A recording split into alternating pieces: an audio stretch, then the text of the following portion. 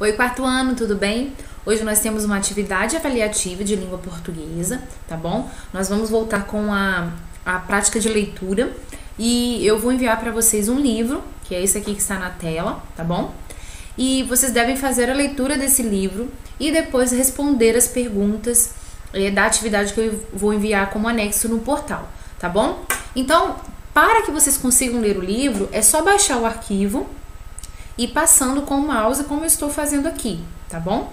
Quem achar a letra pequena, é só vir aqui dar o zoom, né, no sinalzinho de mais, ou diminuir um pouco também para que vocês consigam enxergar a imagem melhor e rolando a barrinha do mouse para que vocês leiam essa história que é bem legal, tá bom? Então vamos lá, vou dar algumas orientações para vocês sobre essa atividade. Como eu disse, ela vale três pontos, né? Cada questão tem um valor específico, vocês vão observar essa pontuação logo é, no finalzinho de cada questão, tá? Então é importante que vocês leiam cada questão com atenção, dando respostas completas, tá bom?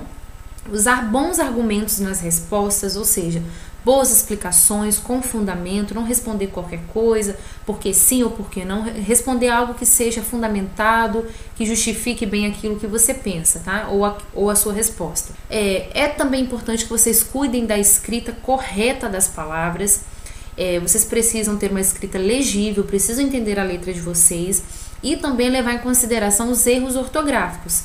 Vocês já estão no quarto ano e, como sabem, nós descontamos né, a ortografia quando ela está de forma incorreta. Então é importante que vocês escrevam com calma, tenham atenção. Se tiver uma palavra que, que gere dúvida em vocês, façam uma pesquisa no dicionário, tá bom?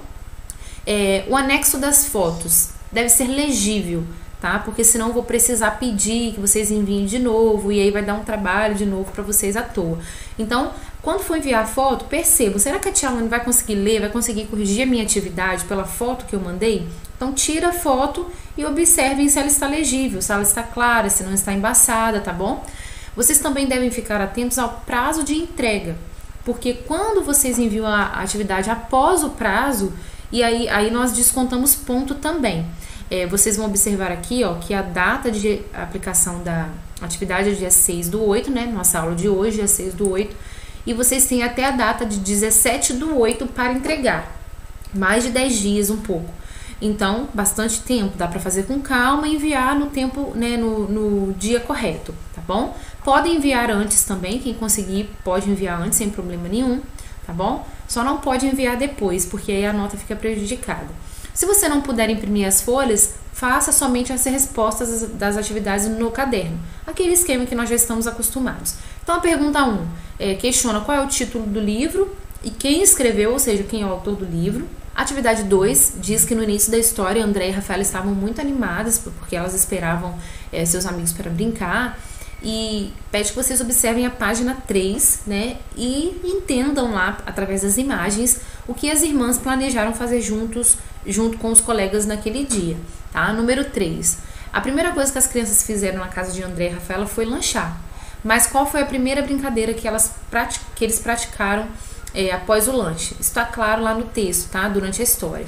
Depois pergunta, é, fala, aliás, afirma né, que a energia acabou e os aparelhos eletrônicos pararam de funcionar.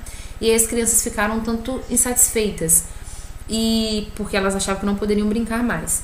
Só que a partir desse momento aconteceu algo, né? Algumas ações aconteceram aí para que as crianças voltassem a se divertir. O que aconteceu, na verdade, para que elas voltassem a se divertir? Vocês vão entender bem lendo a história com atenção. Aqui na atividade 5, vocês devem enumerar os fatos da história de acordo com a ordem dos acontecimentos, tá bom? Atividade 6 pede que vocês citem duas brincadeiras que as crianças aprenderam com o vovô da história. Atividade 7 afirma também que no início da história as crianças pensavam que só era possível se divertir usando a tecnologia. No fim da história, elas mudaram de opinião ou não? Elas permaneceram com a mesma opinião. E aqui vocês pre precisam explicar a resposta com as próprias palavras de vocês, mas observando é, o desenrolar, o desenvolvimento da história. E a atividade 8 pergunta se vocês conhecem brincadeiras antigas, né? Então a orientação é que vocês conversem com os pais ou façam uma pesquisa na internet e descubram algumas brincadeiras que nós podemos realizar sem usar a tecnologia, tá? Depois que vocês fizerem isso, descobrir quais são essas brincadeiras, vocês vão anotar é, algumas delas aqui nas linhas abaixo. Anotem o máximo que vocês conseguirem, Tá bom, crianças? Por hoje é só. Espero que vocês se divirtam bastante com essa leitura. É um livro bem bacana, vocês vão gostar, tá bom? Boa leitura para vocês. Até a próxima aula.